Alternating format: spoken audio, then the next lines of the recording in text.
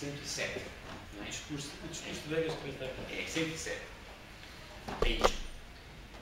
Este elogio ao soldado marinhão é lido hoje de insuportável amexice, mas de certo o seu estilo correspondia ao gosto da época e às expectativas da audiência.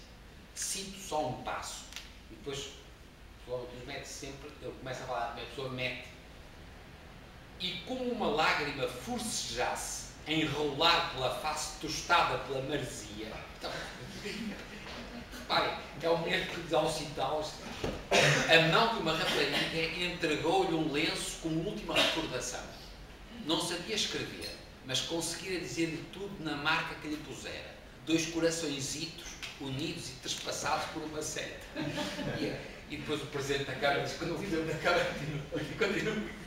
O Presidente da Câmara de Estarreja declarou que o discurso a todos pareceu uma peça literária de valor, urdida em fina e delicada forma de novela.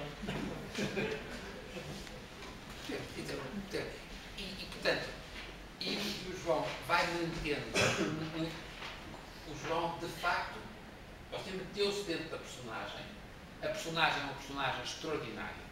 Quer dizer, eu, eu, eu, eu, eu fiquei com uma consideração que o Egas me diz do outro mundo. Quer dizer, ele começa a fazer investigação aos 51 anos, o que é extraordinário, e, e são descobertas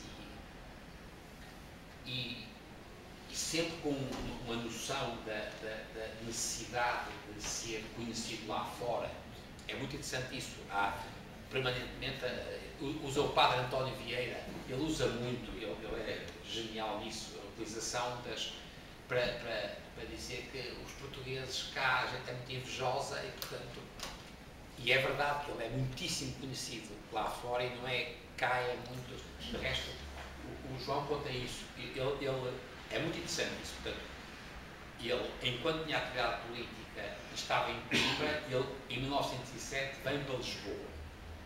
E, e, e, e como vimos atrás, é evidente que Egas considerava Coimbra demasiado acanhada para a sua missão.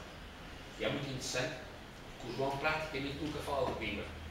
Coimbra é uma, foi uma plataforma, ele percebeu que Coimbra Assim, além do consultório da Rua Nova do Carmo, anuncia em 18 de outubro de 1907 que dava agora consultas de doenças nervosas na Praça Luís de Camões 6, primeiro consultório. Primeiro, consultório que partilhava com, entre outros, António de Almeida. E é que anexara uma instalação de electroterapia geral com duches estáticos, correntes galvânicas, farádicas, etc.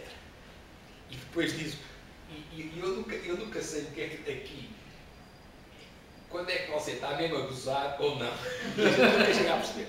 Quer dizer assim, os seus inimigos, céticos quanto à eficácia, agora há parênteses dele, mais que discutível, destas terapias, que ele recomendava para patologias tão diversas como a hipertensão arterial e a arteriosclerose, chamavam depreciativamente o eletricista da Rua do Alecrim. E está a ver o nível da, é muito engraçado porque o João diz sempre que ele teve sempre excelente imprensa, mesmo sempre fixe quando se mete com ele por causa do capachinho, tem muito cuidado. Portanto, ele teve sempre excelente imprensa por parte da, da população e dos meios de comunicação social, ele tinha, no fundo, a inveja dos, dos colegas. Porque ele era diferente.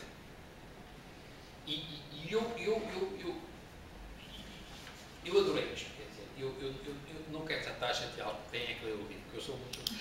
Eu, eu sou o que eu acho que as pessoas têm é que ler.